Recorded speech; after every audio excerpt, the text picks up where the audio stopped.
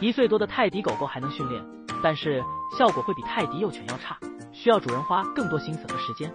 通常来说，从泰迪狗狗出生第七十日龄就可以进行训练。在泰迪狗狗六个月龄之前，是它生长发育最快的阶段，这个阶段效果最好。如果错过了最佳训练阶段也没关系，主人和泰迪狗狗的关系比较亲密的话，会增加成功的可能性。但是如果关系一般，训练不好，还有可能被泰迪狗狗咬等等。所以训练泰迪狗狗的时候一定要小心，并且会非常操心。其实无论多大的泰迪狗狗，只要方法得当，都是能训练好的。